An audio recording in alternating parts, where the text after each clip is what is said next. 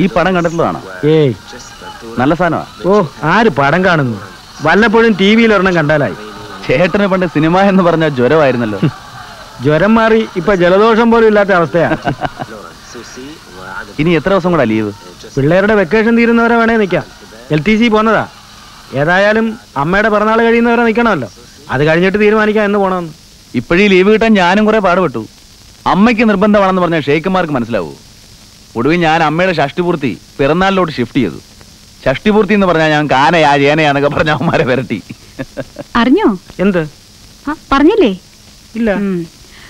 ബാംഗ്ലൂരിൽ ഫ്ലാറ്റ് ഒന്ന് വാങ്ങിച്ചിട്ടിട്ടാ ഒന്നും അറിയാത്ത പോലെ ഇരുന്ന് ചിരിക്കുന്നത് വാങ്ങിച്ചോ? ഇല്ല ചേട്ടാ.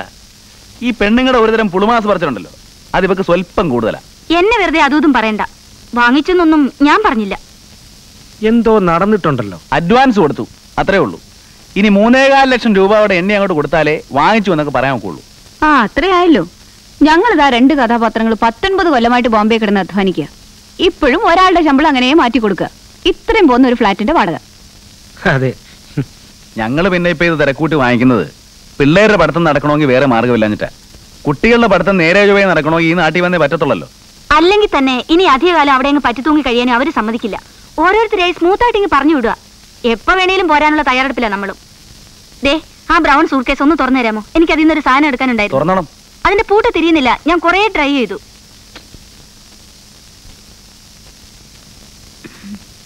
ആറേ മുക്കാലിനാ വാങ്ങുന്നേ. മൂന്നര കൊടുത്തു. ബിന്ദു പറഞ്ഞത് ബെസ്റ്റ് ലൊക്കാലിറ്റി ആണെന്ന്. സിറ്റിയുടെ നടക്കെ. Two bedroom with all facilities കൈ പണമുള്ള പലരും അങ്ങനെ പലയിടത്തും ഫ്ലാറ്റ് സ്ഥലമൊക്കെ വാങ്ങിച്ചിടും. അതൊരു പതിവാ. ആരെങ്കിലും വാങ്ങിക്കുന്ന എനിക്ക് പറയേണ്ട കാര്യമില്ല. ഇതിപ്പോ സ്വന്തം അനിയനായതുകൊണ്ട് പറഞ്ഞതാ. എന്തെങ്കിലും പറയാൻ തുടങ്ങുന്നതിന് മുമ്പ് ചാടി കടിക്കാൻ വന്നോണം. നമ്മൾ ഈ ഇലക്ട്രിക് ട്രെയിനിന്റെ പിന്നിൽ തൂങ്ങിക്കിടക്കാൻ തുടങ്ങിയിട്ട് പത്തൊൻപത് കൊല്ലായി. അത് ഓർമ്മിപ്പിച്ചെന്നേ ഉള്ളൂ.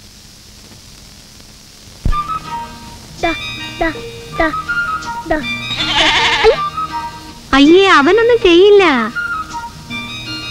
കൊടുക്ക. വേണ്ട അമ്മൂമ്മ കൊടുക്ക. ഒന്നും ചെയ്യില്ലടി മോളെ. വേണ്ടമ്മേ. സ്വല്പം പേടിയിരുന്നോട്ടെ അത് മാറിയാൽ അവൾ അതിനെ പിടിച്ച് ഞെക്കി കശക്കി ശല്യം ചെയ്തുകളെ കളയും. ആണോടി മോളെ?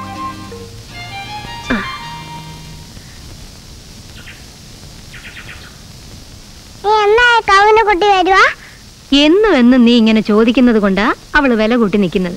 ചോദിക്കാതിരുന്നാ മതി. നിങ്ങൾ പോകുന്നതിന് മുമ്പ് അവൾ കുട്ടിയെ തരും. ഇതിന്റെ ഉള്ളിലാ കുട്ടി? ആ. എവിടെ? നിന്റെ തലയിൽ. ഇനി അതും ഇതും ഒക്കെ ചോദിക്കാൻ തുടങ്ങും. ഓ ഇങ്ങനെ രണ്ടെണ്ണം. മറുപടി പറയാൻ നിന്ന കിളിച്ചതും മുളച്ചതും ഒക്കെ അറിയുന്നവരെ ചോദിച്ചോണ്ടിരിക്കും. ജനിക്കുമ്പോ കുട്ടി ഇത്ര ആ. അയ്യോ മതി മതി എൻക്വയറീസ്. നീ ഇതിനിടെ എങ്ങോട്ട് പോയി? ചേച്ചിയെ കാണാൻ പോയായിരുന്നോ? ആ ഇതുവഴിയെ പോയോ? ഓ ഇതിലേങ്ങ് ഇറങ്ങി. റോഡേ കൂടെ പോയാൽ നൂറ് പയ്യന്മാരെ ഗൾഫിൽ കൊണ്ടുപോകാനുള്ള ആപ്ലിക്കേഷൻസ് വരും. പണ്ടിവര് സ്കൂളിൽ പോണ വഴിയാ. ഇപ്പൊ ആ പഴയ വഴിയെല്ലാം മാറിപ്പോയി. അല്ലയോടാ? അത്രയും വീടുകൾ. കാട് പോട് വെട്ടിമാതിരി പൊതു ലാറ്റിനായിരുന്നാലും പണ്ടായിരുന്നു ഭേദം. തുടങ്ങി. ആളുകൾ വീട് വെക്കാൻ പാടില്ലെന്നാ ഇവിടെ ഒരാളുടെ. നാടിന്റെ ഭംഗി പോകും പോലും. അതവൻ പറയുന്നത് കുറെയൊക്കെ ശരിയാ. നമ്മുടെ കൊട്ടക്കാട്ട് കാവിന്റെ അവിടെയൊക്കെ എന്തു ഭംഗിയായിട്ട് കിടന്നതാ. ഇപ്പൊ അവിടെ കാവുമില്ല ദേവിയില്ല അഞ്ചാറ് മഞ്ഞ വീട് മാത്രമുണ്ട്. അതും കണ്ട ജാതിക്കാരുടെ. അമ്മേ ഇവക്ക് ഇതൊന്നും പറഞ്ഞാ മനസ്സിലാവുന്ന ഇനമല്ല. ഇവിടെ നാട് കണ്ടിട്ടുണ്ടോ കാവ് കണ്ടിട്ടുണ്ടോ? പിന്നെ ഇല്ല ഞാൻ ആകാശത്ത് നിന്ന് പൊട്ടി വീഴല്ലായിരുന്നോ ആ കാള അമ്മേ ആവി പിടിക്കാറായി. ഞാനിതാ വന്നു തിളച്ചെടുക്കുവാ വന്നെന്ന്. ആ അമ്മ എന്നാ പോയി ആവി പിടിക്ക്. ആ കൊച്ചു അപ്പോഴും വന്ന് വിളിച്ചു. എന്ത് പറ്റി? അറിഞ്ഞില്ലേ? അക്കാര്യത്തിൽ മോനേക്കാൾ അമുക്കിയ അമ്മ. ഒറ്റ വസ്തു ഒറ്റ ആളോട് മിണ്ടത്തില്ല. കഴിഞ്ഞ ആഴ്ച ബാത്റൂമിൽ സ്റ്റൈലായിട്ടൊരു വീഴ്ച അങ്ങ് വീണു കൊടുത്തു ഭാഗ്യത്തിന് ഫ്രാക്ചർ ഒന്നും ഉണ്ടായില്ല. രണ്ടു ദിവസം അനങ്ങാൻ പറ്റിയില്ല. ഇപ്പോഴും നീരുണ്ട്. ആണോ? ഓ കഴിഞ്ഞ ആഴ്ചയൊന്നും അല്ലടാ. ഒരു മാസത്തിന് മേലായി. അതാ പത്മാവതി കണിയാട്ടിയെ വിളിച്ചോന്ന് ഒഴിഞ്ഞപ്പോ അങ്ങ് മാറുകയും ചെയ്തു. പിന്നെ ഇപ്പോഴും ആവ് പിടിക്കുന്നേ? അതാ പെണ്ണിന്റെ ഓരോ നിർബന്ധങ്ങൾ ഒന്നുമല്ല. ഞാൻ എപ്പോഴും അവിടെ പറയാറുള്ളതാ അമ്മ ഇവിടെ തനിച്ചിങ്ങനെ നിർത്തുന്ന റിസ്ക് ആണെന്ന്. പെട്ടെന്ന് എന്തെങ്കിലും ഒന്ന് വയ്യാതെ വന്നാൽ കിടന്ന് വിളിച്ചാൽ കൂടെ വരാൻ ആരാ ഉള്ളത്? അങ്ങനൊന്നും വരുത്തത്തില്ല. വാ മക്കളെ.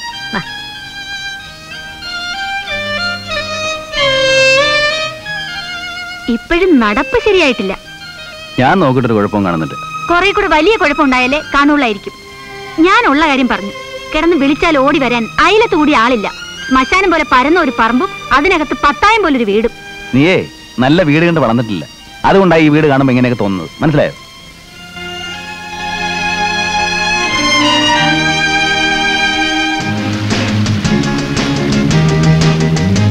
രസവാ ഈ ഒഴുക്കിന്റെ കൂടെ ഒരു ഒഴുക്കായിട്ട് അങ്ങ് ഒഴുകി ഒഴുകി പോവാൻ കഴിഞ്ഞാൽ. അത്ര കൊതിയുണ്ട് ഇറങ്ങി അങ്ങോട്ട് നീന്തണം. അതിന് നീന്താൻ പറ്റിയിട്ട് വേണ്ടേ അല്ലേ? ഞാൻ നീന്തു പഠിക്കുന്നത് എത്രാമത്തെ വയസ്സിലാണെന്ന് അറിയാമോ? At tenth tenth age of six പന്ത്രണ്ട് വയസ്സ് വരെ ഞങ്ങളുടെ ഡോൾഫിൻസ് ക്ലബിലെ ജൂനിയർ ചാമ്പ്യൻ ഞാനായിരുന്നു. ഇവിടെ പുല്ലൊക്കെ തീ പിടിക്കാൻ തുടങ്ങുന്നു. സാറിന്റെ പുളി കേട്ടിട്ട്. പുളുവൊന്നുമല്ല ഹൺഡ്രഡ് റുപ്പീസ് ഇപ്പൊ എടുത്തു തരാം. ഒന്നതാ അവിടെ നിന്ന് വരെ നീന്തി കാണിക്കാം അയ്യേ ഈ ഓപ്പൺ ആയല്ലോ ബോംബെയിലെ സ്വിമ്മിംഗ് പൂൾസ് ഒക്കെ പിന്നെ മറച്ചിട്ട് ഓലച്ചിട്ടൊക്കെ അതായിരിക്കും എന്നാലും സ്വിമ്മിംഗ് ടാങ്ക് ഇല്ലാതെ എങ്ങനെ നീന്താൻ പറ്റുന്നേ? ഞാൻ എന്നാൽ എവിടെ നിങ്ങൾ സ്വിമ്മിംഗ് സൂട്ട് ആയിരുന്നു വാങ്ങിച്ചു തരാം അതിട്ടൊന്ന് നീന്തി കാണിക്കാവോ? വേണ്ട അങ്ങനെ ഇപ്പൊ കാണണ്ട. ആ. എന്നാ കുഞ്ഞിറങ്ങ്. ഓ കുഞ്ഞിനി പോയൊരു മൂന്നാൽ ലാർജും ഒക്കെ അടിച്ച് രണ്ട് പാട്ടും പാടി പെമ്പിളേയും കെട്ടിപ്പിടിച്ച് കിടന്ന് സുഖമായിട്ടൊരു ഉറക്കമുണ്ട്. എടോ താനൊക്കെയാടോ ഭാഗ്യവാന്മാര്? പറയാതിരിക്കാൻ പറ്റുകയില്ല. എന്തോന്ന് ഭാഗ്യമെന്ന് ഇദ്ദേഹം പറയുന്നത് പിള്ളേർ അവിടെ ഇവിടെയും പോയി കിടന്ന് കഷ്ടപ്പെട്ട് കാശ് അയച്ചു തരും. അതിന് അവർക്ക് വേണ്ടി തന്നെ എന്തെങ്കിലും കരുതി വയ്ക്കുന്നു ഏതായാലും ആയ പ്രായത്തിൽ കരുതി വെച്ച് മൂന്നാൽ ആമ്പിള്ളേരാണല്ലോ പെണ്ണായിരുന്നല്ലോ. എന്റെയും ചേട്ടന്റെ ഒക്കെ ഗതി നോക്ക്.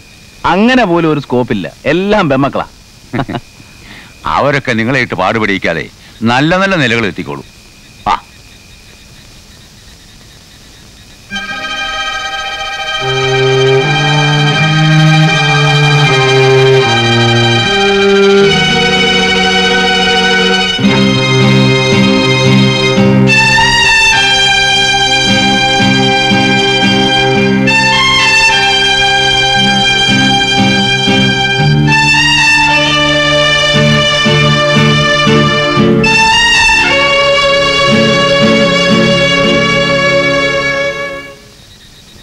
എന്താ തന്തപ്പടി പോകാതെ നിന്ന് ലാത്തി?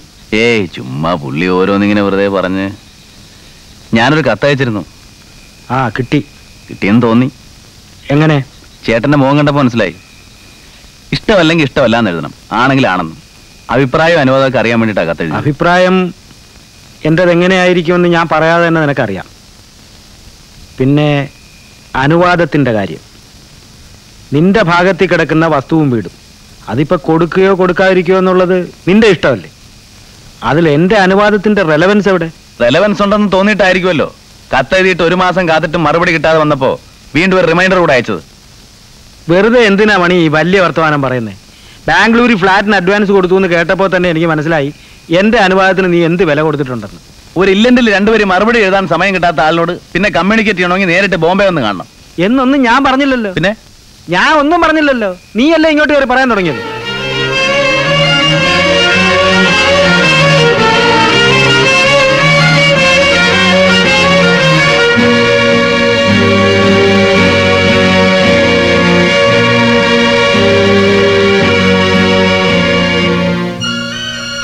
നമ്മൾ ഉദ്ദേശിച്ച പോലെ തന്നെ. ആ. അപ്പോ അമ്മ? ഞാൻ ചോദിച്ചില്ല.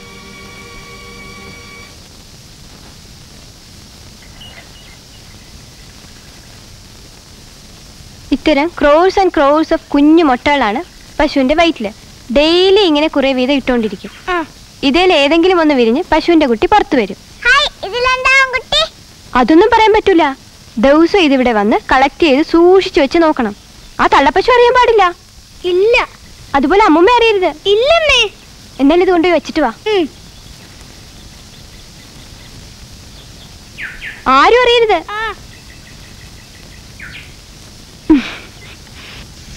സൗത്ത് ഇന്ത്യയിൽ വെച്ച് തന്നെ ബെസ്റ്റ് എന്ന റെപ്യൂട്ടേഷൻ ഉള്ള സ്ഥലമാണ് ശരണാലയം. ഒന്നിനും അവിടെ ഒരു കുറവുമില്ല.